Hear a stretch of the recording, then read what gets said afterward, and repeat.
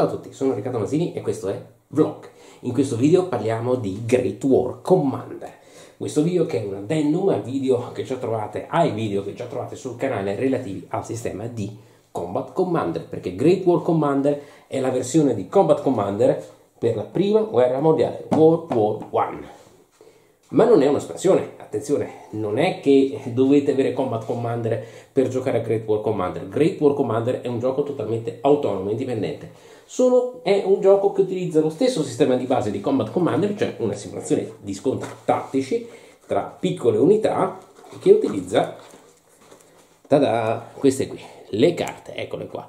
Esattamente carte che sembrano un po' quelle di Combat Commander, perché in realtà sono, sono divise più o meno come Combat Commander, però ha delle sue peculiarità. Abbiamo detto questo video è un addendum eh, perché? Perché parleremo essenzialmente delle eh, differenze tra Great War Commander e Combat Commander. Che cosa rende Great War Commander qualcosa di unico e diverso rispetto al gioco originale che appunto che era, eh, che è Combat Commander.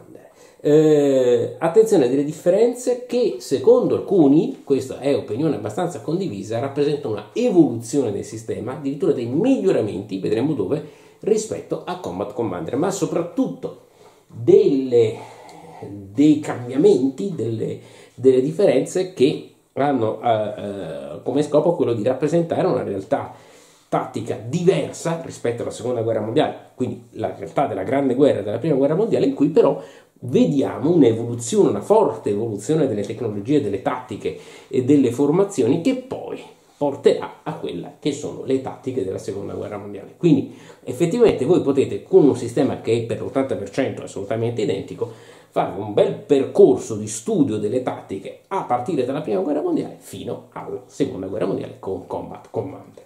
È veramente un, un aspetto molto interessante. Come molto interessante è il fatto che questi due giochi non vengano come spesso succede, come spesso vediamo, dall'America, ma dalla Francia. Sono dei giochi di Exa Sim, casa editrice francese, giochi creati da Rogenor e Pascal Dupuy. Oh, noi abbiamo parlato spesso di giochi di questa bellissima scuola di wargame design eh, francese che ha sempre regalato grandi titoli al nostro hobby eh, e che effettivamente molti, molti autori che sono legati a quella maestosa realtà che è Vevictis, ma anche tutto al, al percorso, al, al, appunto, al, giro dei, dei, dei, tanti tornei che si fanno oltrate, quindi alle grandi realtà di wargame francese che veramente sono molto molto molto interessanti. Abbiamo per esempio abbiamo visto Verdun, Verdun 1916, eh, ma abbiamo visto anche gli amici di, di Chacot con Napoleon 1806 e 1800. 7. Eh, sono, parleremo anche di altri giochi francesi, per esempio del sistema, già ve lo anticipo, di il nome un po' strano, par le fer, le fer, le fe e la foi. Quindi ferro, con il ferro, con il fuoco, con la fede. E, ehm, che sono dei giochi eh, dedicati alle guerre di religioni, di, di, di religione francese e quindi sono appunto eh, dei giochi fra l'altro un sistema molto interessante a dare, ma non è una, un sistema a, dare impulso, impulso a dare, è un sistema semplicemente a dare che dovrebbe probabilmente eh, verrà riutilizzato anche per le guerre del Sengoku Jidai, per alcune battaglie del, del Giappone feudale. Eh, ma poi come non citare, ultimo ma non ultimo, il nostro caro amico, il mio caro amico Fred Serval, che eh, visto che ci siamo, vorrei tanto, eh, vorrei tanto eh, salutare e anche gli amici di Battles Magazine, insomma, veramente eh, la realtà francese dei wargame veramente ci regala grandissime soddisfazioni, come ci regala appunto eh, grandi soddisfazioni Great War Commander.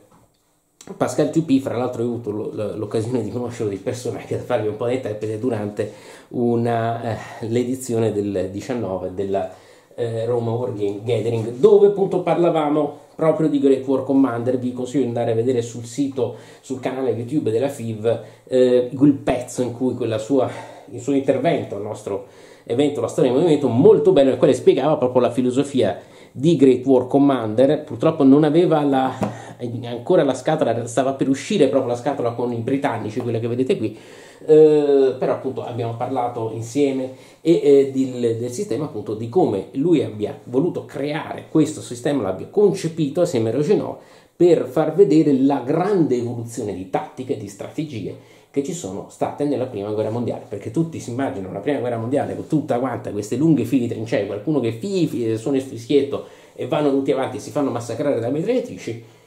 Sì, questo succedeva, ma prima di tutto succedeva solo in alcune, alcuni fronti, fronte occidentale, fronte italiano, in parte succedeva così, ma già sul fronte orientale, e, e, per non parlare del fronte della guerra del deserto, per carità, non succedevano queste cose o in maniera molto diversa, ma anche sul fronte occidentale, anche sul fronte italiano, la guerra è stato un continuo eh, susseguirsi di azioni, di raid, contro raid, ricognizione, missioni speciali, eccetera, che erano molto più mobili del semplice assalto di trincea che trovate in questo gioco, però non c'è solo quello, e già questo Già ne avevo parlato in un vecchio gioco, eh, giochi con questo per esempio ci fanno capire come, eh, ci aiutano a, a, capire come alcune idee che noi abbiamo sulla storia, anche sulla storia militare, sono un po' delle idee che ci vengono più dai film che dalla realtà vera e propria. La realtà vera e propria è un po' più complicata e anche un po' più interessante, un po' più variegata. Great War Commander ci fa capire questa cosa relativamente alle tattiche della prima guerra mondiale. Oh, altra piccola notazione io ho detto che Great War Commander è una variante di Combat Commander, non è l'unica, perché le altre sono, diciamo così, amatoriali, non sono edite, non sono pubblicate a livello professionale, ma so che c'è una variante, dei fan hanno fatto una variante di Combat Commander per il Vietnam, ve lo dico così come nota a margine, e perfino una sulla guerra civile americana che non sto riuscendo a trovare e che vorrei veramente provare perché sarebbe fantastica. Quindi, come vedete, è un sistema che si presta molto a varie a varie evoluzioni. Eh, però allora abbiamo detto appunto abbiamo un po' parlato dell'autore anche della storia di questo gioco che appunto nasce come evoluzione di Combat Commander Pascal Tupi e Roger No hanno veramente amato moltissimo Combat Commander hanno pensato ma perché cambiandolo un po' non noi facciamo una versione sulla prima guerra mondiale visto che ci siamo perché non la pubblichiamo e visto che ci siamo perché non lo diciamo alla GMT e la GMT ce, li, ce lo distribuisce anche in America quindi questo è un caso di un gioco di ritorno che dall'America parte con Combat Commander, in Francia creano Great Wolf Commander e lo riesportano in America distribuito dalla stessa GMT ed ha un successone. Vedete il mondo del gioco come è circolare. Quindi abbiamo un po' parlato quella, della storia del gioco, vediamo un pochino il materiale, da che cosa è composto il materiale che attualmente è disponibile per Great War Commander. È composto da questa che è la scatola base, dove trovate francesi, tedeschi e americani, eh, e questa che è l'espansione sui britannici, la British Expeditionary Force, dove ci sono i britannici, con tutti quanti i loro bei scenari. Ci sono un po' di scenari fan-made che trovate eh, su Borging Geek e su altri, eh, su, su altri, siti. Poi è in lavorazione un Battle Pack, quindi con degli scenari aggiuntivi ancora. E poi sappiamo che sono in lavorazione espansioni sugli austriaci, sui russi, sui turchi e pare, con Pascal ne abbiamo parlato, speriamo che la cosa riesca a quagliare, eh, anche sugli italiani. Adesso vedremo un pochino perché francamente un sistema del genere io me lo immagino sulla guerra di montagna sarebbe fantastico, fenomenale.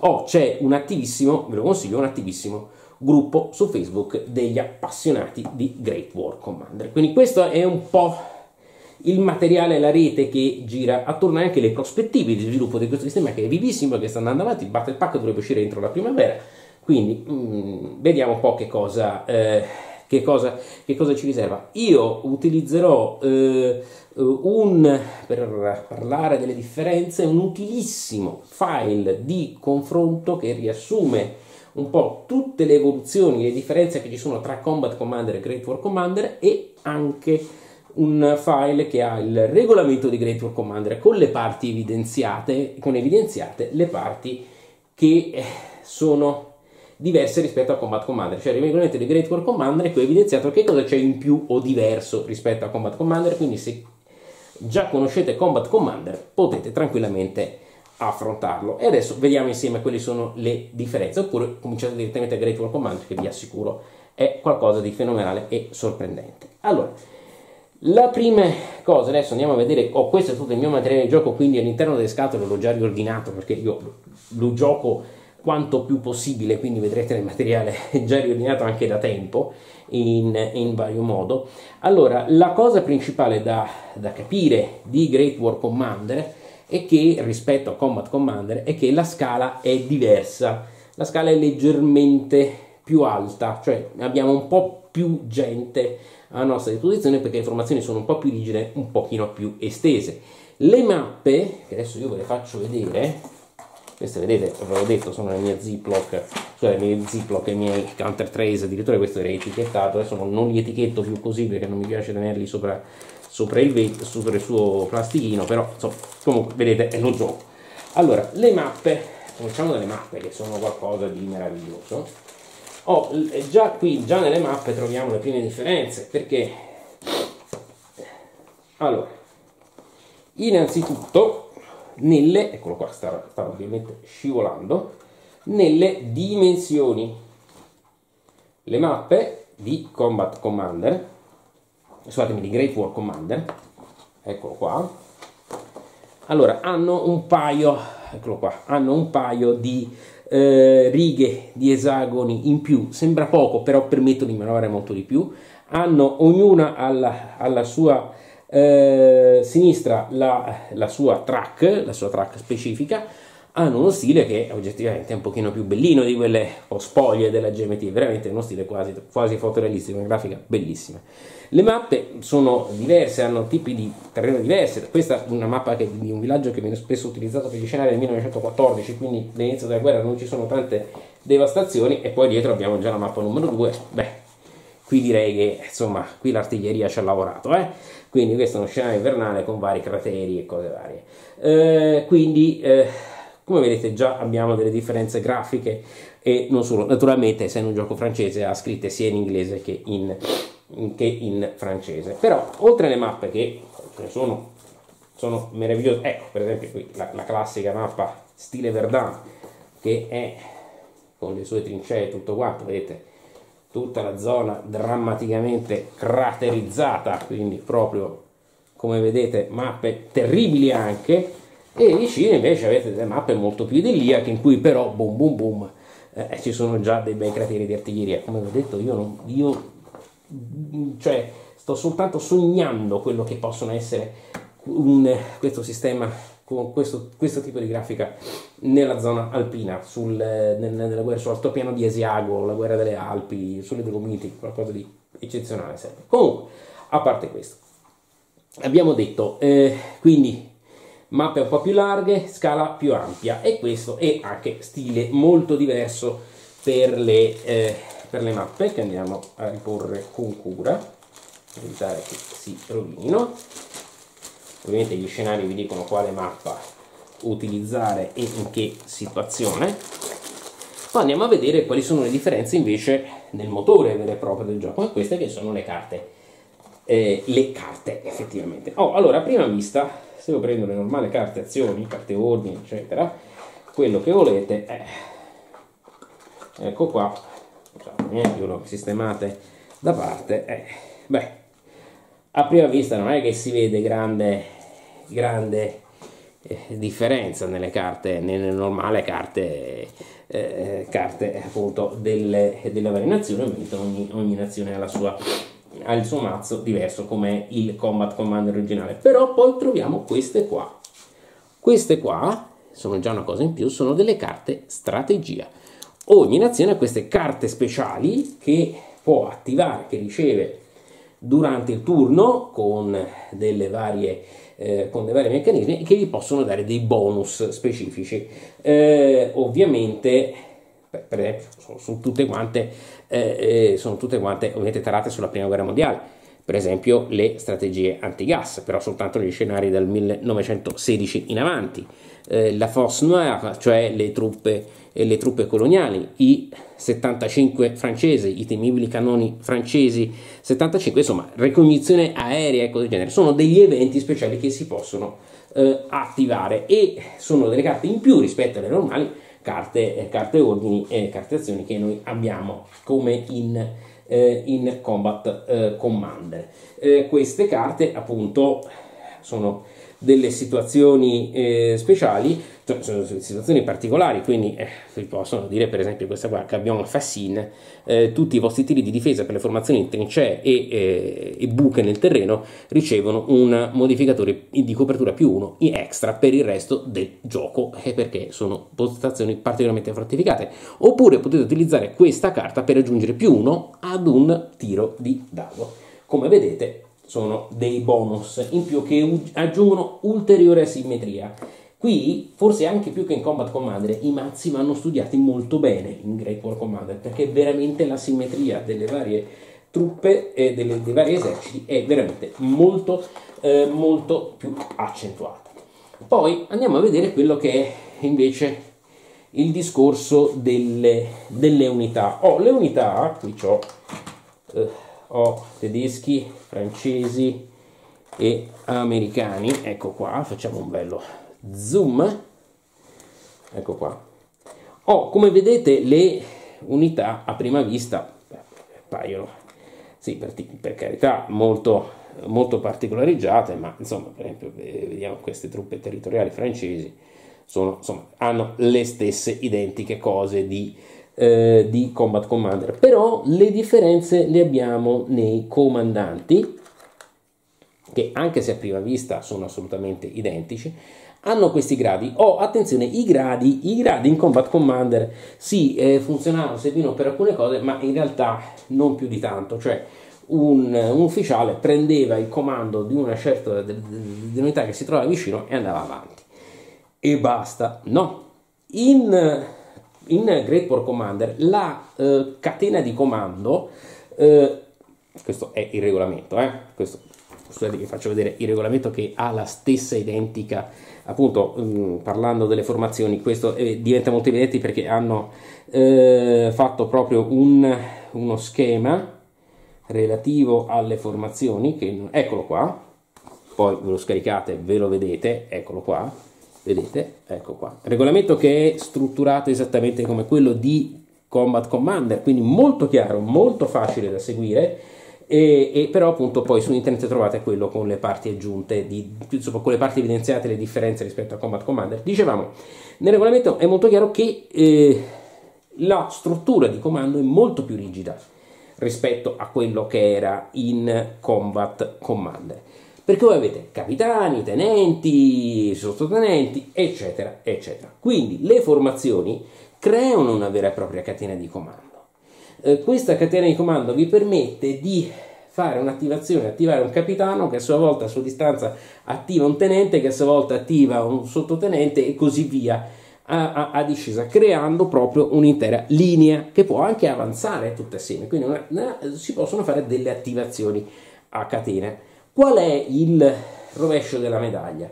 È che mentre in Combat Commander potevate anche lasciare delle truppe un pochino indietro, in fondo non succedeva più di tanto, magari non avevano il bonus del leader, ma mm, ok, si muovevano in avanti, in Great War Commander è necessario mantenere la coesione, perché le unità che si trovano fuori dal raggio di comando di qualche ufficiale cominciano ad avere dei problemi e dei problemi seri, perché non sono addestrate a combattere fuori formazione, sono ancora addestrate in maniera un po' ottocentesca al combattimento di formazione. Combattimento di formazione che però gli permette di utilizzare un ordine, se riesco a trovarvelo, adesso questo sarà, sarà un po' un'impresa, lo so già, che è l'ordine proprio quello classico di, della prima guerra mondiale. Allora, aspettate un attimo, ordine, ordine, ordine avanzato, eccolo qua, il classico ordine offensiva. E offensiva fa paura perché offensiva è che proprio col fischietto fi e tutti in avanti date un ordine a un'intera formazione di sparare o di, di muoversi tutti in avanti quindi un'intera linea di unità che comincia da una parte all'altra della mappa a fare questo movimento. Quando ci riuscite quando riuscite a mantenere questa coesione soprattutto all'inizio degli scenari beh veramente è un ordine che ha un peso, un peso notevole sulla, eh, sulla situazione. Ehm, poi, oh, parlando delle pedine, una cosa, questo è un dettaglio meraviglioso. E Tupi ha detto che l'ha voluto apposta proprio perché per far vedere questo cambiamento. Guardate, queste sono, aspettate che ve le trovo, questi sono gli specialisti, ecco qua, unità di linea. Queste unità di linea, guardate che cosa hanno queste unità di linea in particolare. Ha questo segnetto qua, guardate, vedete queste uniformi? Sì, sono uniformi del 1914 e si portavano i pantaloni russi, eh, che li rendevano praticamente facili individuare i soldati francesi. E, e, poi dopo abbiamo invece dei soldati per gli, gli, gli scenari dopo il 1914 con l'uniforme eh no, questa è già l'uniforme più classica, più, più moderna. La stessa cosa con i tedeschi, che sì, all'inizio cominciano con, con, gli elmetti chiodati e poi dopo cambiano e passano allo Stahlhelm senza, senza, il, senza il chiodone in testa. È una cosa a cui ci ha tenuto praticamente Pascal Topi perché le uniformi anche eh, sono diverse, quindi teneva anche a far vedere questo cambiamento progressivo nella guerra perché ho detto, è un preconcetto questo che la prima guerra mondiale sia stato qualcosa di sempre assolutamente statico, uguale a se stesso, no, è un conflitto in cui c'è stata un'evoluzione pazzesca ed è assolutamente vero. Poi, altra cosa particolare, appena li trovo, magari quelli tedeschi, non li troverò mai, ovviamente, fatemi vedere, ah, eh, i pionieri o ingegneri o quel che si voglia, le unità, ci sono delle unità speciali, eccole qua, i pionieri, anche ingegneri, eccetera, insomma, poi dipende, le nazioni varie le, le, le chiamano in maniera diversa, queste sono delle unità che, particolari che possono eh, appunto piazzare delle foxholes, cioè delle buche eh, lungo, lungo, la mappa, oppure rimuovere il filo spinato con i tenaglioni appunto nel loro esagono con un qualsiasi ordine. Queste sono fondamentali soprattutto per gli scenari in cui ci sono delle offensive un pochino più, eh, più strutturate. Poi un'altra unità particolare che non c'è in Combat Commander, ma che qui è fondamentale, è quella del runner. Usiamo questo come dove sei, dove sei finito Vabbè, qui le, le, lo chiama liaison. Eccolo qua. Eccolo qua. Qui faccio vedere il francese. L'agent de liaison, il corriere. Oh, questi erano soldati, generalmente i soldati più giovani e più veloci, che effettivamente lo facevano, che venivano distaccati dalla loro unità, dall'ufficiale, e venivano mandati indietro a portare dei messaggi, spesso a me- portare dei messaggi alla propria artiglieria dicendogli sparate in questo settore qua. Allora, i runner che poi appunto hanno vari nomi nei vari eserciti, vengono generati da una carta, c'è cioè una carta apposita che vi permette di generare un, un, un corriere, non prendono obiettivi, quindi nessuno non possono prendere obiettivi, sono soldati singoli, sono praticamente disarmati o quasi, eh, e se viene preso corpo a corpo viene subito eliminato, viene, si arrende e basta, viene preso prigioniero. Ma se si trova nello stesso esagono di un leader e c'è il telefono attivo, che è la linea di comunicazione che Combat Commander vi permetteva di avere l'artiglieria, beh, allora fa sì che qualsiasi carta Command Confusion possa essere utilizzata come un artillery request. Quindi effettivamente vi basta una Command Confusion qualsiasi per avere un artillery request, cioè un, un, un bombardamento di artiglieria. In più, vi dà un punto vittoria se lo fate uscire dal vostro stesso bordo mappa perché significa che l'avete mandato verso il quartier generale, magari con un messaggio, perché le comunicazioni non ci sono le radio, quindi sono molto più difficili e quindi mh, mm, lo mandate indietro con un messaggio di guardate gli nemici sono qui oppure risultati le vostre cognizioni oppure bombardate quella posizione, queste sono le coordinate, ma attenzione che vi fa perdere un punto vittoria se viene eliminato perché effettivamente è un vantaggio tattico notevole. Quindi questi runner sono un elemento ulteriore di movimento della partita che eh, appunto entra in, in gioco eh, e rende ancora le partite ancora più emozionanti. Le partite a Great War Commander è incredibile dirlo, ma se possibile sono ancora più emozionanti. La prima guerra mondiale è ancora più emozionante della seconda. Però io lo so benissimo, chi conosce Great War Commander si aspetta questo punto, li avrà già adocchiati. Qui ci sono questi bei carrozzoni qua. E questa, eh sì, e questa è veramente, veramente la grande, faccio vedere anche questo che è ancora più rappresentativo, il Renault FT, la grande, fantastica novità di Great War Commander, perché Great War Commander, incredibile a dirsi, ha i carri armati. Combat Commander che sulla seconda guerra mondiale non ce l'ha, ci hanno detto in mille modi perché non ci sono in un gioco sulla seconda guerra mondiale, la stessa versione di, dello stesso gioco per la prima guerra mondiale ce li ha. Eh, vabbè, eh, allora, con calma.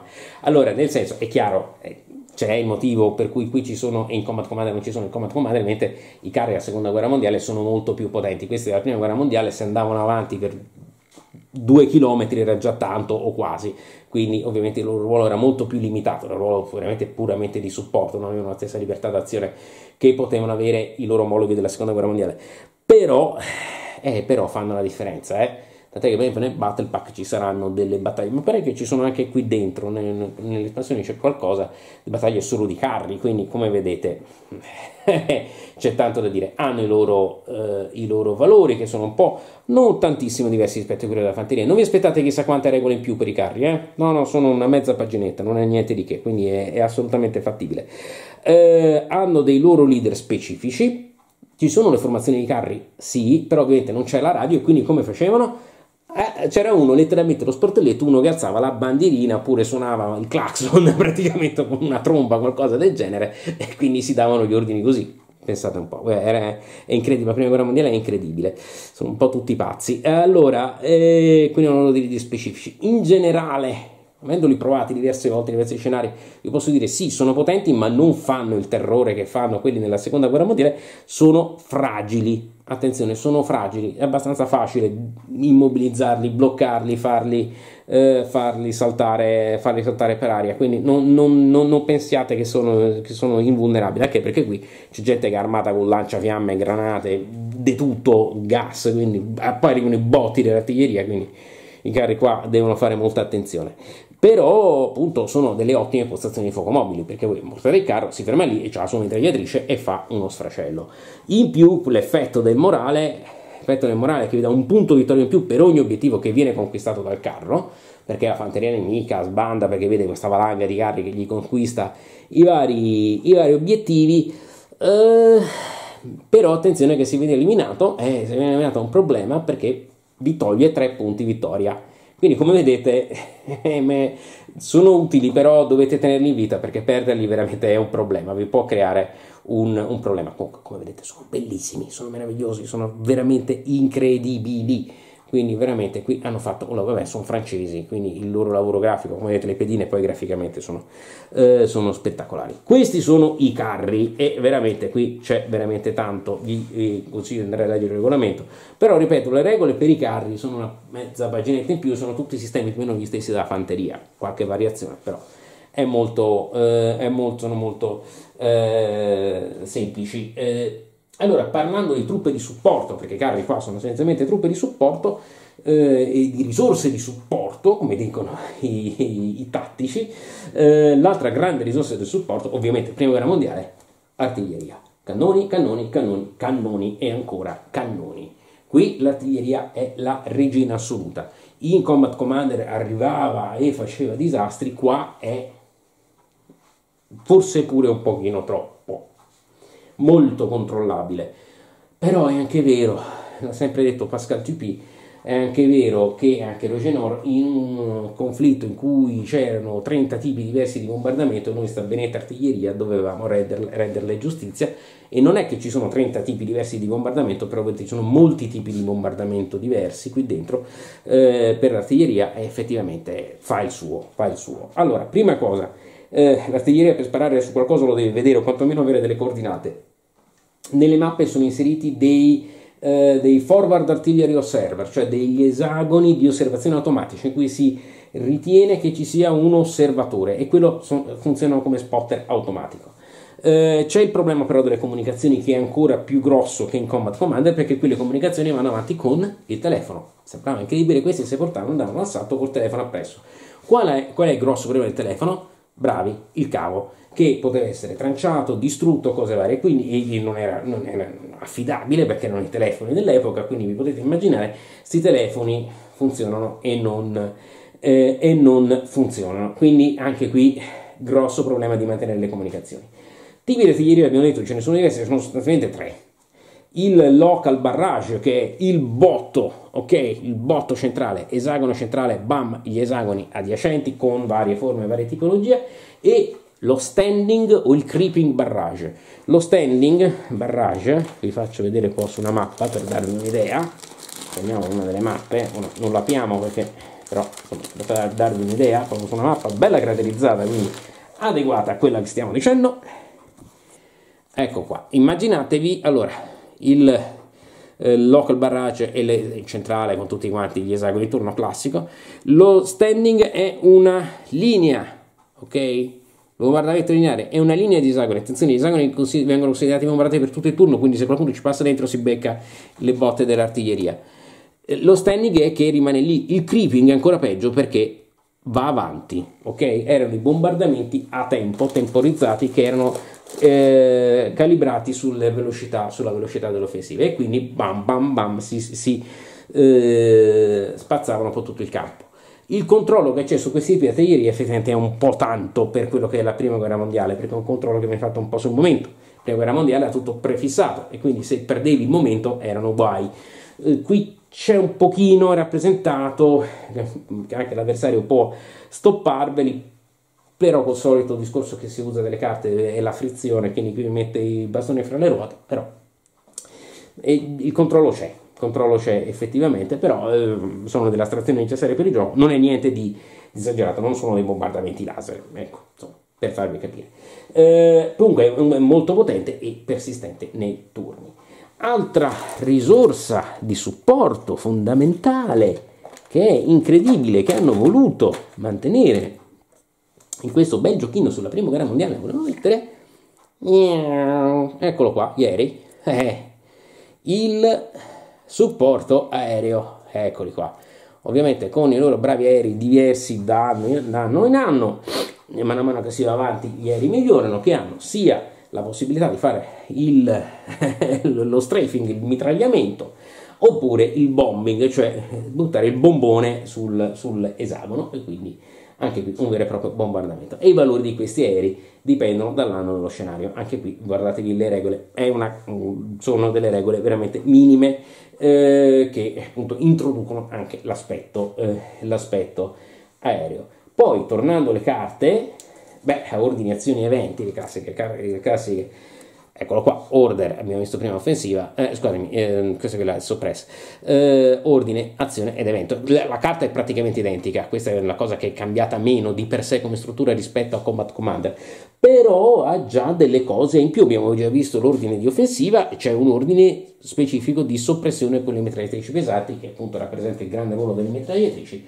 e che eh, appunto sono dei fuochi concentrati delle mitragliatrici pesanti, concentrati e coordinati che potete dare. Quindi, come vedete, mm, sono, eh, sono delle, eh, delle, cose in più di nuovo, fra l'altro sempre bellissime con delle bellissime foto sopra, veramente meravigliosi. Poi le azioni, gli eventi ovviamente sono diversi, eh, ci sono varie azioni aggiuntive, gli eventi sono un po' più differenziati, un po' più fantasiosi rispetto, se possibile, rispetto a quelli di Combat Commander. Per esempio, questo, eh, gli alti comandi mettono le persone tra le ruote, eh, c'è la Battlefield Attrition, c'è la ah, ah, eh, insomma, anche queste molto differenziate da nazione a nazione, c'è un pochino più varietà che in Combat Commander. Anche qui andate a vedere un attimo sul regolamento e trovate veramente delle grandi, eh, delle grandi sorprese. Poi, eh, altra altra particolarità sui terreni, i terreni più o meno la tipologia sono le stesse, però eh, sono, c'è qualche tipologia aggiuntiva eh, o oh, artiglieria, mi ero dimenticato perché me la, la rimuovo, una cosa fondamentale dell'artiglieria, e, e ci sono anche i bombardamenti con il gas. Il terzo grande tipo di artiglieria, e eh, no, non lo posso dimenticare, non lo vorrei dimenticare, ma sono quelli, anche gli attacchi con il gas, che sono veramente terribili e hanno delle regole tutte, eh, tutte loro eh, veramente eh, lì leggetelo e prendetelo con un bel magone. Tornando a noi, tornando a noi, allora i terreni abbiamo detto che possono essere ci sono delle tipologie di terreni aggiuntivi, trincee contro trincee, eccetera, eccetera, però in più possono anche essere danneggiati dall'artiglieria creando delle shell holes, cioè dei, dei, dei crateri o delle macerie, perché l'artiglieria è particolarmente potente e quindi butta giù gli edifici e crea veramente danni e cambia la, eh, la prospettiva del terreno di battaglia. Addirittura alcuni utilizzavano, c'erano delle tattiche artiglierie che si riteneva fossero utili perché creavano delle, delle eh, delle buche apposite per utilizzare l'artiglieria, per, è stata utilizzata questa cosa per creare dei ripari per la fanteria con i crateri, da cui poi dopo la fanteria potesse avanzare in copertura. Tutta la prima guerra mondiale, Great War Commander lo fa vedere benissimo, almeno sul fronte occidentale, è un tentativo disperato di eh, risolvere quella patologia che è la guerra di trincea. Viene considerata assolutamente non la normalità, la, viene considerata la, la patologia.